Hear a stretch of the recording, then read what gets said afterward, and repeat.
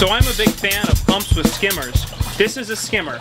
It basically fits inside of the pump and it captures uh, chunks of uh, debris, it captures snails, it captures uh, little fish, it captures just about anything big and solid in your system that could damage your pump. Now most of the pumps that we use, these are pool pumps, um, come with skimmers. And uh, I'm a big advocate of these types of pumps because they're reliable in the long term and they're very inexpensive.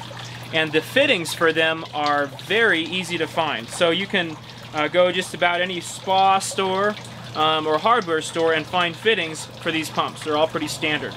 So um, I like to use these inline pumps and um, you know they come with skimmers like this. Occasionally uh, you'll have to clean these out. So we basically just, uh, they fit in the pump like so and they typically have a covering, threaded, a threaded top to them um, that allows you to kind of see down in the pump but it, it fits on like this. There's an O-ring there and it seals, and then that collar uh, threads on and basically tightens it down. So all you got to do is basically take that collar off and take off the top of your uh, your skimmer covering here, and uh, take out your skimmer. And, and this one we just kind of gave a little rinse out a little earlier, but you know you can see it's pretty clean. A lot of the time you'll pull these out and they'll just be full of gunk.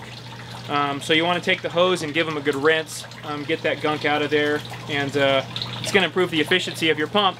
But the nice thing about these, of course, is that it prevents your the impellers in your pump from being damaged by all this hard, uh, big, solid stuff going through your system. So, uh, if you're thinking about buying a pump, definitely look into pumps like this. We use Jacuzzi uh, pumps by and large. Um, they're very inexpensive and uh, they'll do a really great job for you. Alright, well welcome to our video uh, tour of our greenhouse.